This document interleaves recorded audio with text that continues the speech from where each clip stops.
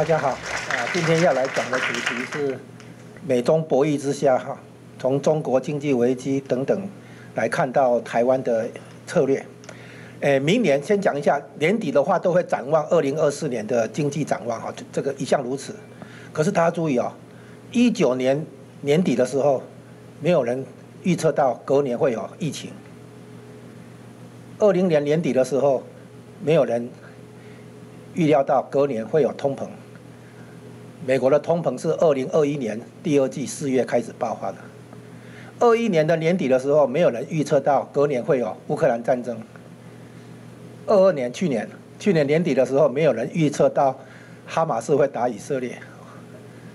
所以哈年底的时候去展望明年的话，不准的几率太高了哈。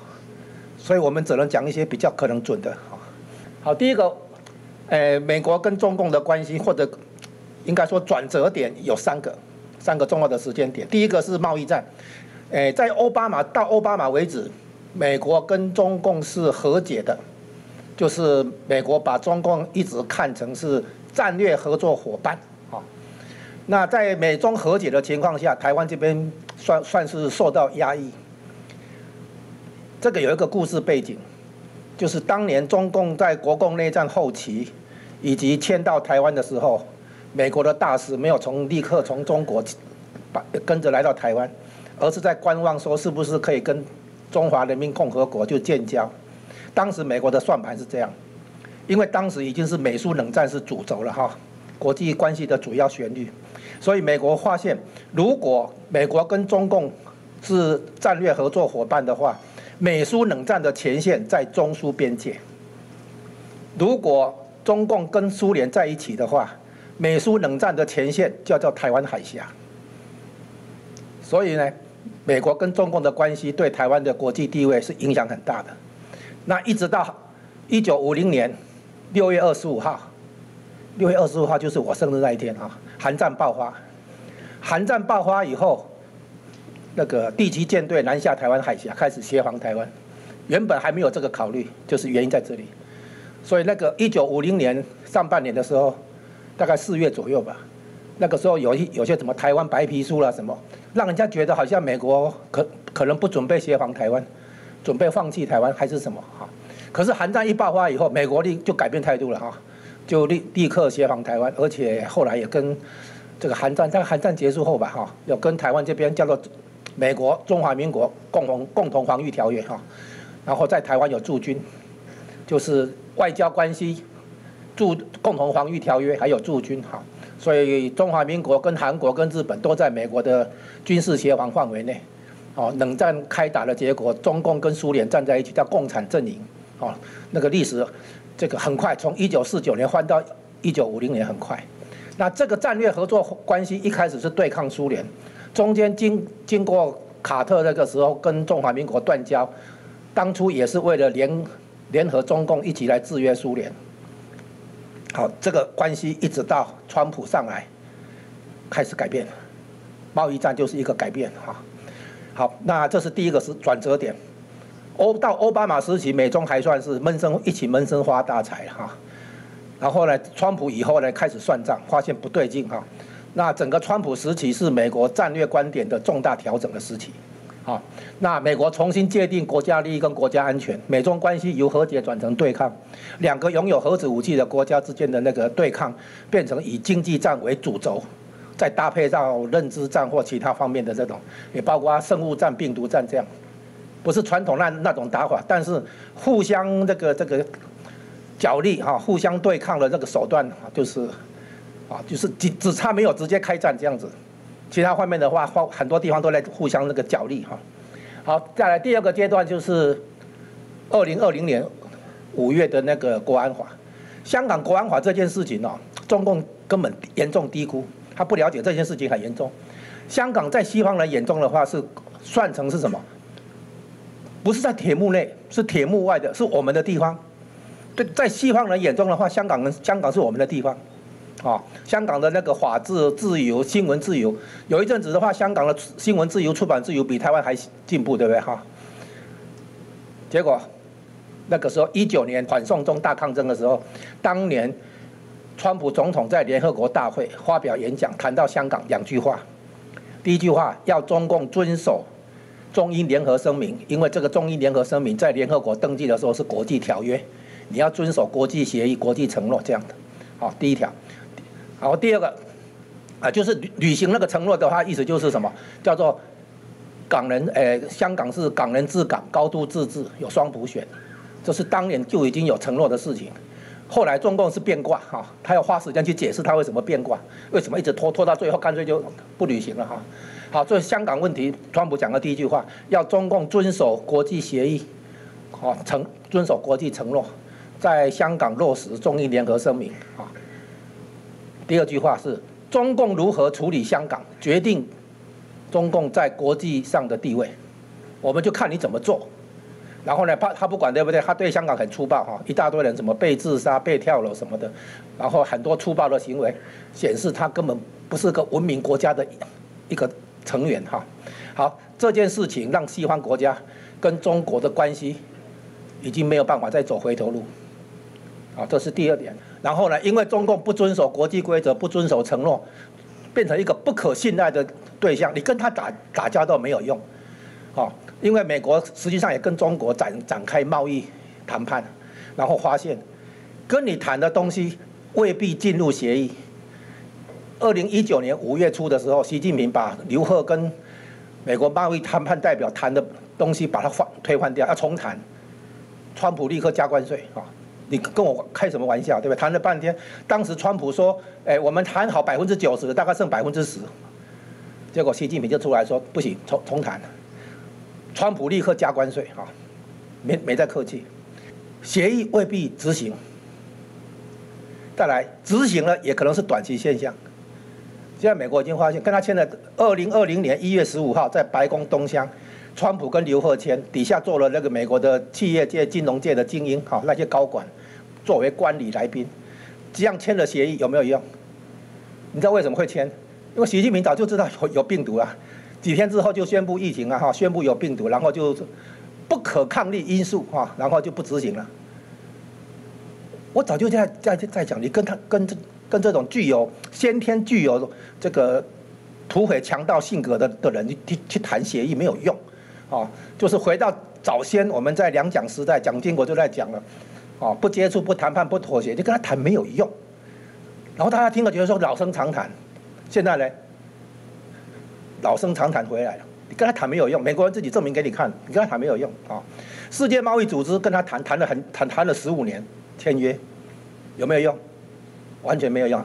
这个他要答应要执行的东西，比如说包括外国电影能不能进来，国这个政府招标案怎么做，农产品、金融金融部门的开放等等，一大堆的那个贸易协议里面谈的东西都列出来，啊，有没有执行？没有。就算执行也是短期现象，应付一下，做个表面，说啊，对不对？好，做个样子。所以呢，跟他谈没有用，他变成一个不可信任的对象，所以谈了没有用。再来呢，他进一步变成国际秩序现状的威胁者、破坏者。这个他不了解，他搞香港哦，代价实在太大。习近平的意思就是说，邓小平的一国两制只是回归收回香港，收回一半。习近平要把它完全回收，完全收回来，就说完全回归了。上一次回归是一半了。百分之五十回归而已，回归一半而已哈。邓小平的一国两制是回归一半，他要把它完全回归，这种想法不对哈，因为他应该保留香港的特色，让它变成一个中国跟西方世界的这个窗口对接口，这样才对。然后我一个最好的朋友，我在纽约念哥大的时候，最好的朋友是低我一届的一个香港人，他跟我说，香港没有武力，没有黄埔军校，所以香港保护自己的办法就是创造中国大陆对香港的依赖。你如果对付我的话，香港人到最后一一个办法就是什么？同归于尽，你也会受伤，哦，叫做香港话叫做什么？蓝草是吧？哈，就是大家同归于尽哈。你如果伤害我的话，我我我完蛋了，你也完蛋的意思，只能用这样子。那中共不管了，香港的问题是背后有价值观的问题。香港不在第一岛链的前沿，台湾是，香港不是。所以呢，香港的问题出来以后，我当初做了一个判断是这样：美国不救香港，但是救香港人。像林口那边有很多香港来的移民的哈，我们家在台北的捷运的百货公司里面听到很多讲广东话的，估计是像香港来的哈。那不救香港的原因，是因为香港是中国经济的窗口，引进资金、技术，甚至于香港的企业可以诟病一些外国、诶国外的东的那个企业或技术，但是中国企业不行，所以香港是一个窗口，一个也是一个破口哈。然后美国如果要对付中国经济，要削弱中国经济的话，他一定要把香港这个破口封起来，所以他不会救香港。结果是什么？结果是美国在香港下了棋，在台湾收割。所以，一九年结束，隔年二零二零年，对，一月几号？十一号嘛，就是台湾大选。啊，十三，台湾大选投票投下去，然后大家都知道结这个投票结果。所以我那时候这样形容，就是美国这个叫宏观战法，大家看到香港进进去投票所的时候，脑脑袋脑中的画面是香港，啊，这个票投票当然受到影响，对不对哈？这样子，好，再来。第三个就是今年十月七号，哈马斯打那个以色列，以色列把无人机的技术移转给中国，中共再把无人机给伊朗，伊朗再给哈马斯，哈马斯再拿去打以色列，以色列说荒谬。其实我们早就知道中共不是好东西，然后他不信。好了，打架到了结果，现在我告诉你，这一次的中东战争或者哈马斯以色列的战争，得出一个意外的结果，就是。中共得罪犹太人这件事情很严重。你知道犹太人不是不但是背后控制美国，他控制的是国际金融体系。你知道好莱坞也是犹太人。我们在美国念大学念经济学的话，研究所几乎都是跟犹太教授打交道，啊，到处都是犹太的那个经的教授啦、精英啦、专家。好了，美国国务卿就是布林肯就是犹太人，美国联总会主席犹太人，哦，到处都是犹太人。然后去你去得罪犹太人，犹太人是国际性的嘞，串起来。所以中共不了解，他搞香港干什么？你去搞犹太人干什么？知道吗？这个攻美天了哈，这个没办法。好，那得罪犹太人等同于得罪国际金融势力，还有背后的那个叫做 Deep State 深层政府，将来事情会很严重啊。这个其实哈，这个这两件这几件事情都很严重。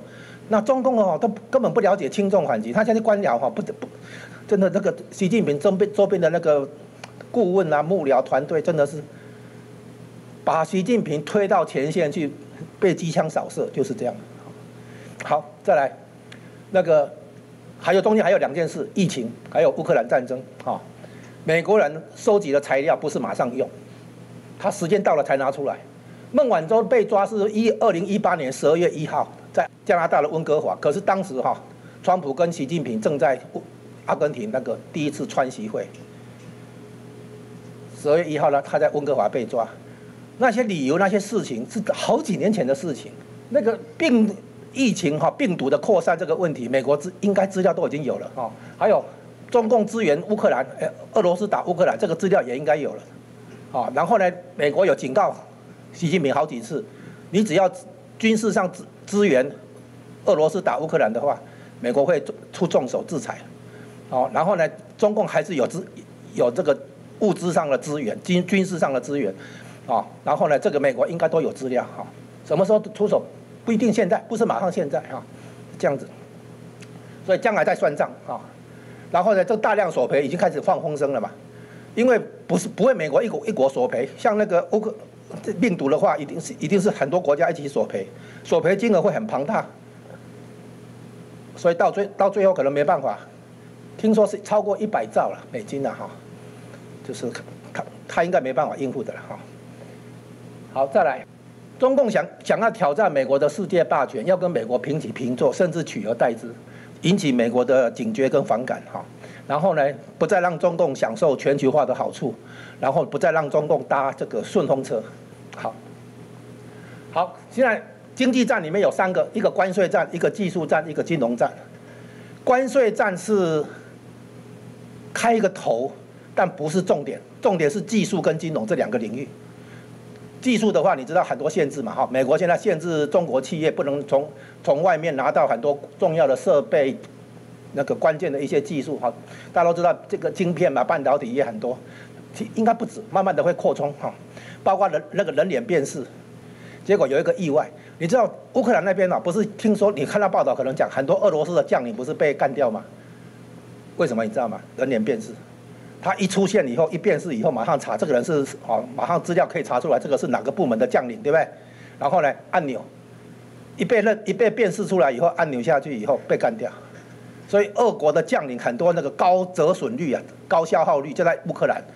关键就是，然后美国干掉那个伊朗的那个强人苏莱曼尼将军，人脸辨识，就是我先追踪你，对不对？我确认你上了哪一班车，走哪一条路线，确认以后按钮，第一次没打中，第二次打中，好，就这样子。所以人脸辨识在军事上有用途的，你不要以为只是说民间用途，不是的哈。好，再来，那美国的大国博弈指导思想。要约束中共，对不对？经济战是根本，对中国釜底抽薪。你没有钱，在国际上大傻逼啊，这个很重要。然后呢，再来一个，不让中共窃取智慧财产权，或者做强迫性技术转让。他们的研究是这样：如果中国企业不能从西方国家取得技术来源的话，中国企业的竞争优势三到五年内会消失。一二零一八年加五年是哪一年？就今年。你看到今今年的中国经济，姑且还不说疫情了哈，当然有疫情有有一点影响，因为打贸易战那个时候还没有看到疫情，但是不论如何，你加起来看，你看到目前的那个中国经济确实不好，不是我们在唱衰它，它情况确实不好哈。好，那中国经济动能会因此消退，这个是美国在打贸易战之前就做的研究，这里再插播一下，当时还有一个估计，就是说美国要削弱中国的经济，但是。不能让中国经济崩溃，要你怎么要死不活，不能让你死，可是要让你活活不起来啊？是什么意思呢？因为他们估计，如果中国经济崩溃以后，从中国大陆逃出来的经济难民，可能估计是一点五亿人，其中如果有两百万人用商船、铁船、渔壳、啊渔船、渔壳船什么偷奔台湾的话，那台湾经济就崩溃了。所以不能让中国大陆涌出大量的经济难民。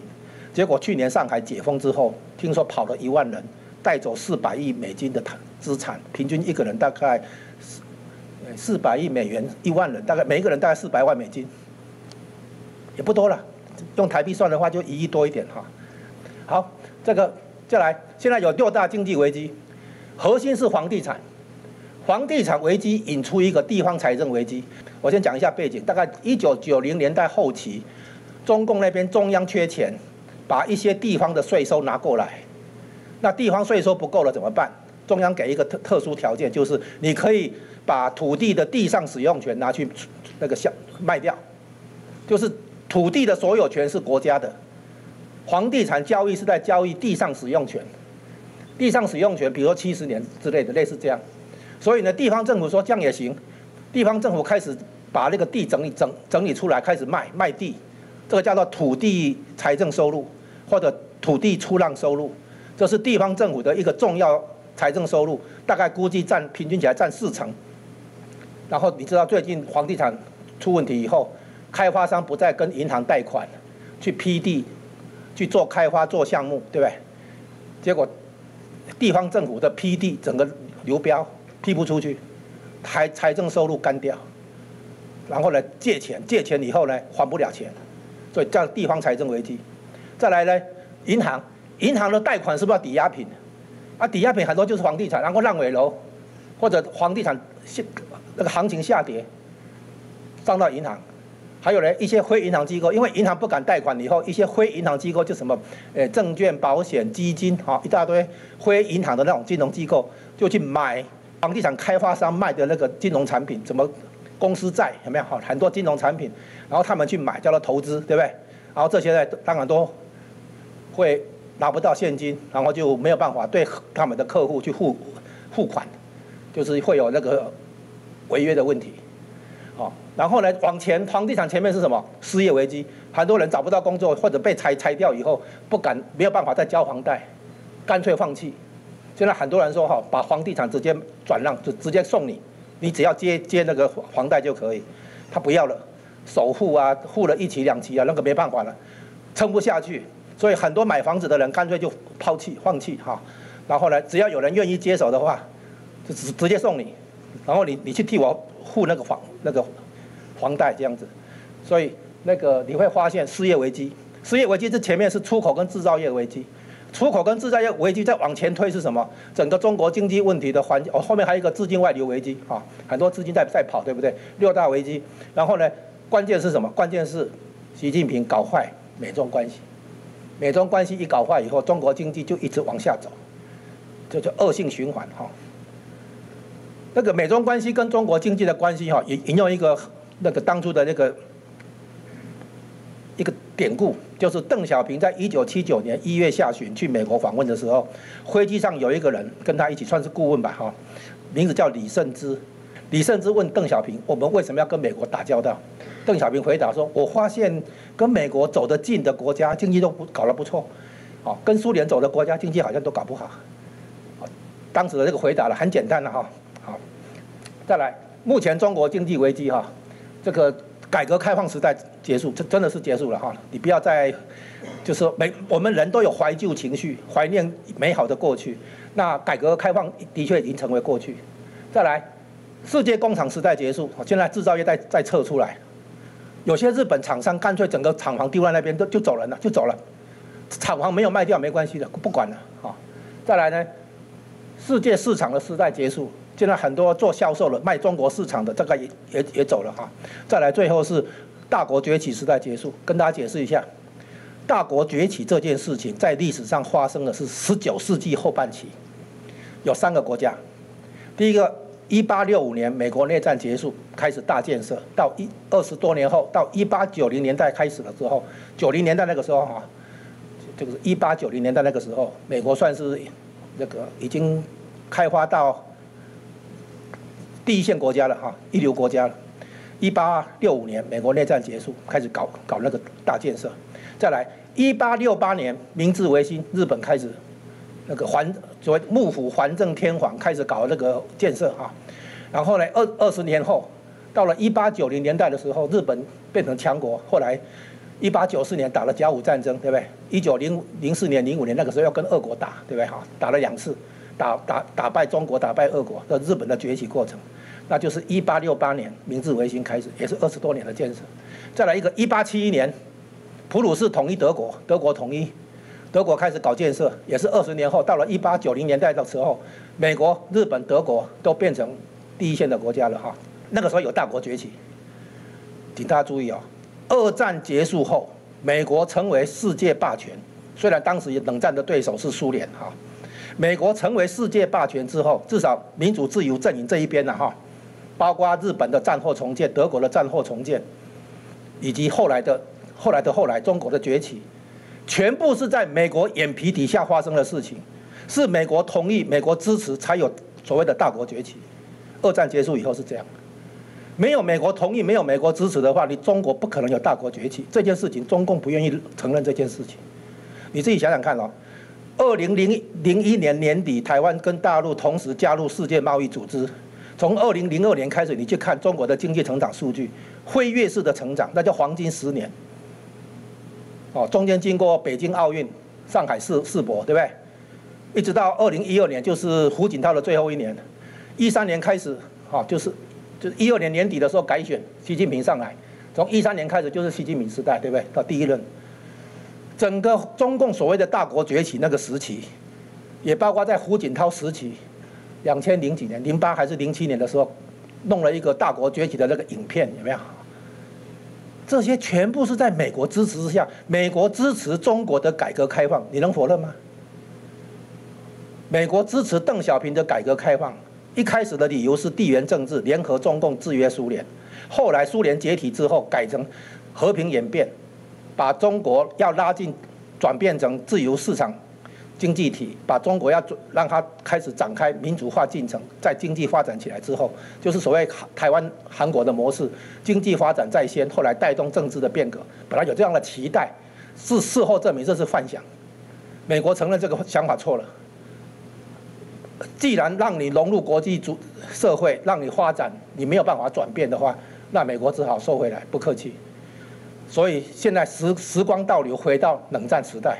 而且这个冷战的对手比苏联更严重，因为它会大量红色渗透，中共会渗透到美国的媒体、美国的智库、美国的大学，哦，美国的一些地方政府，像一些地方选举的那些地方官、州长啊、州州的州州务卿啦，很多都跟中共有来往。所以呢，中共的红色渗透让美国发现这个人，这个对手哈，跟苏联不一样哈，比苏联还严重。现在讲三大误判，没有大国崛起，没有东升西降，也没有弯道超车。那这三个概念都是中共在宣传的。弯道超车这个概念是错的，为什么？中国现在的核心大问题，习近平自己都都在讲，就是你不能老是模仿，老老是山寨，你要懂得创新，对不对？哈，它叫做建立自主创新能力。中国要走这条道路方向对，但是为什么自主创新能力到现在建立不起来？没有真正建立起来。然后你你说被人家卡脖子，哦，关键技术被人家卡脖子，被美国掌握等等，你去想看中国，中国是有人才，但是没有以人才为基础的企业，没有以创新为基础的产业政策。弯道超车的概念是窃取别人的技术，山寨别人的东西，冒谎冒别人的东西，这样不行的。你要有自主创新能力，你要尊重人才，尊重创意。简单讲，尊重多元，尊重差异。共产党做不到，因为共产党讲的是定于一尊，什么都要听党的，党怎么搞创新？啊，大家知道哈，公务员官僚体系，他不承担风险，他是执行指令，但是他不承担风险。然后你开发市场、开发技术，这个是要推动创新，要承担风险，要组织资源，要设计商业模式。大家都知道这个叫做什么？风险创投啦，企业家对不对？要做的这些事情，企业家要去承担风险的。可是官僚不承担风险，他们的唯一风险就是没有得到上面上级关爱的眼神，对吧？官僚的想法是说我我执行命令就完了嘛，上上面要我对对付谁我就对付谁，哈，执行指令嘛，不是承担风险嘛？他的风险就是上上面不喜欢他，他就有风险了，就这样而已。所以。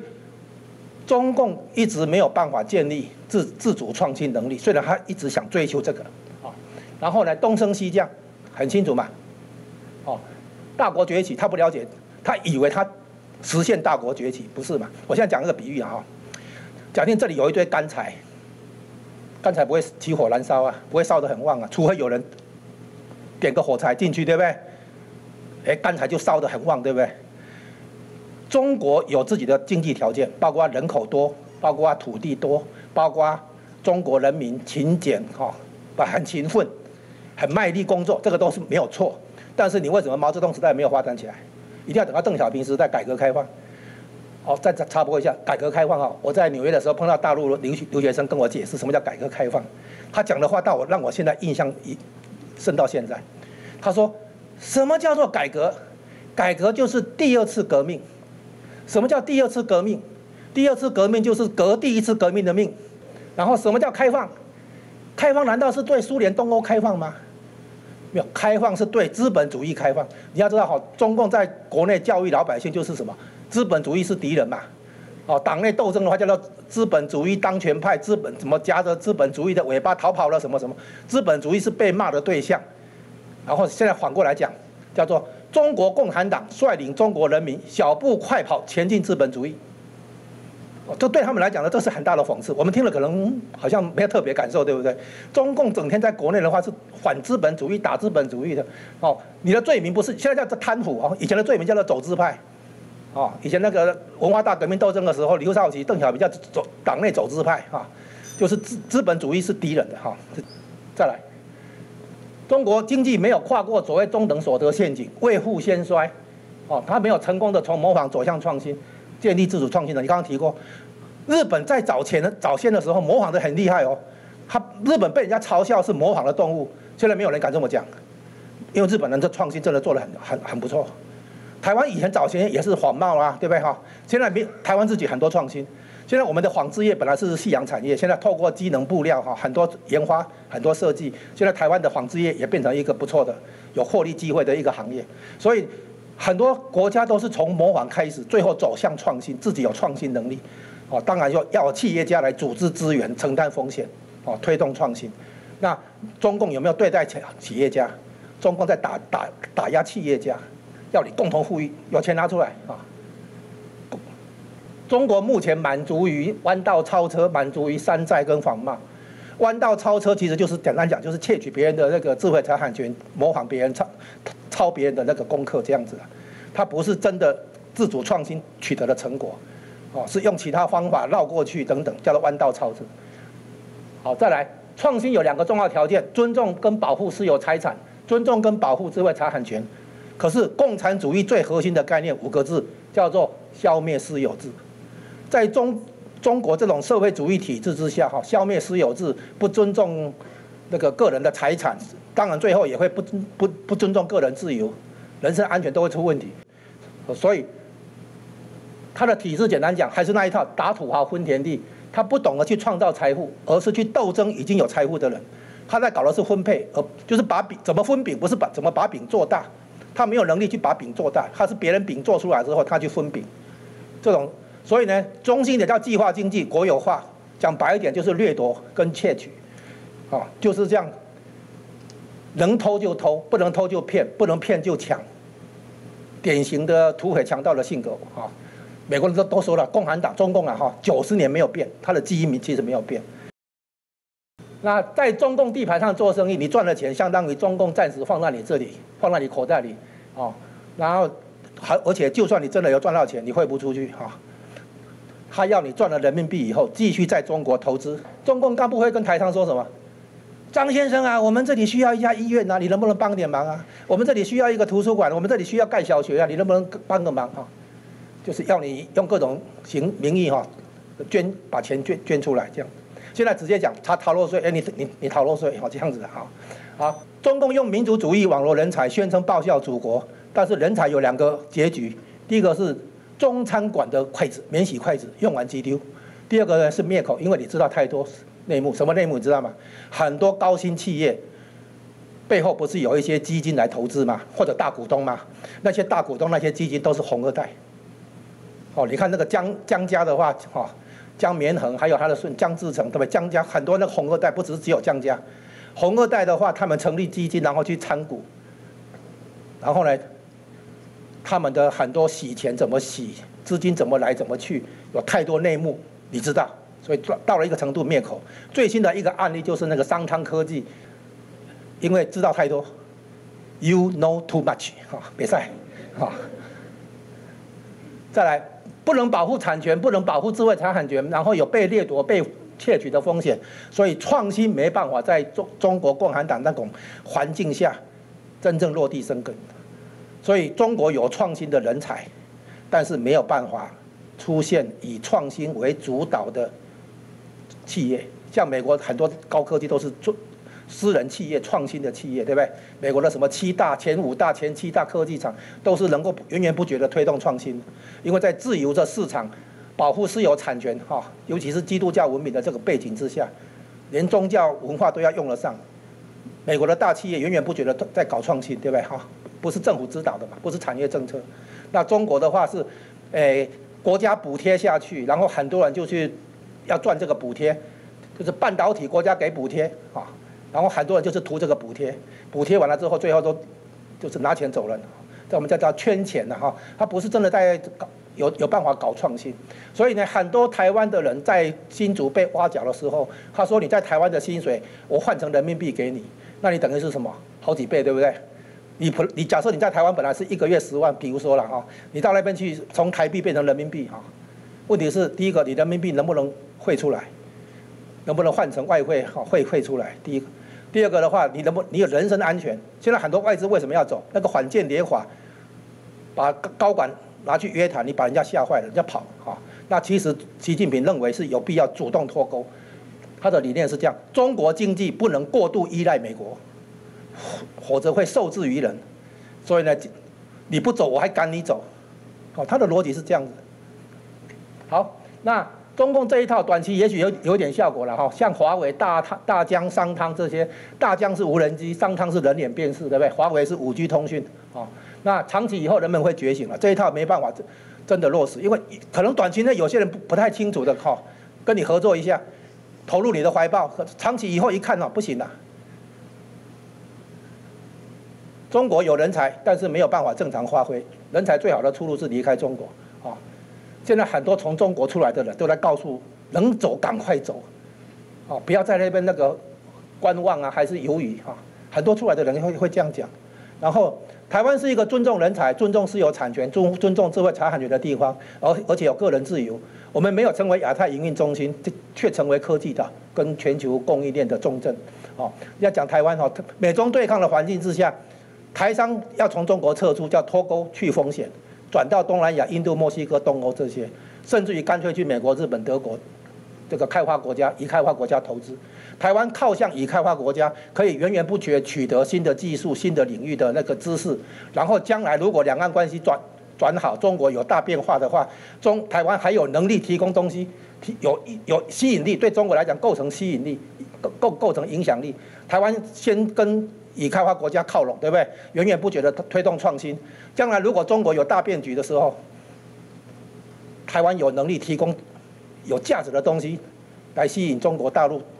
对台湾友善，对不对哈？所以不不要急着现在这种情况下去跟他搞搞那个亲中派。我们解释一下梅蒂奇效应，今天就可以结束。梅蒂奇效应是这样：大西洋的有没有一个岛？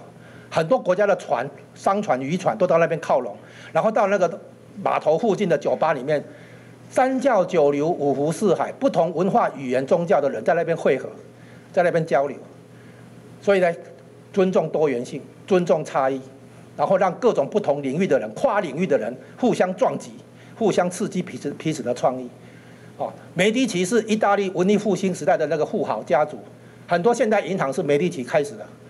哦，然后梅迪奇家族去支持当时文艺复兴的那些伟大的艺术家，哦，什么达文西啊、米开朗基罗等等，那些艺术家的创作经费来自于梅迪奇家族的支持，所以激发了文艺复兴一整代人哈。梅蒂奇效应，然后呢，我发现梅蒂奇效应恰好在台湾实现，在台湾看到这个结果，台湾的多元性、包容性、灵活性，在在实等于是变相的实现了梅蒂奇效应，所以台湾的很多科技业，我都不晓得为什么台湾有那么厉害，能够弄出那么多护国神山，到底我们做对了什么？我也我有有时候也很纳闷，我说我们会不会是因为台湾真的比较善良，也比较包容，也比较多元？看到你讨厌的人，你不会立刻拿起刀把他捅一刀。也许我们是真不知道，我们我不晓得我们做对了什么。你看，我们一护国深山也不是只有台积电，坦白讲啊，那个有一个统计，全世界前十大 IC 设计公司，台湾有四家。然后呢，外国的设计公司里面，执行长是台湾出来的人有三家，总共前十大里面，台湾人或出生台湾的人有七家。你说怎么办？OK，好，那台湾的策略，科技上创造别人对台湾的依赖，创造一种不可替代性啊。然后第二个，军事上的话，要懂得用科技能力打造先进武器跟系统，就是决战境外，先发制人，精准打击是这样子哈。再来，文化上的话，展现自由体制的优势，让人才能够在台湾充分发挥，创造一个又一个的。供应链一个又一个的护国神山啊，是这样子，所以台湾将来有可能成为中国转型跟民主化的重要驱动力量，啊，所以我们不要以为我们现在在反共，好像就是大逆不道，不是的，我们是反共，不是反中，不是抗中。对共产体制的话，我们是这个没办法一起一起过一起过过日子了哈。共产的共产那种体制制度真的没办法一起过日子。好，所以台湾走在正确的方向上，将来有可能对中国的转变做出重大贡献，因为我们隐藏了很多实力了哈，将来可以发挥出来。好，谢谢大家。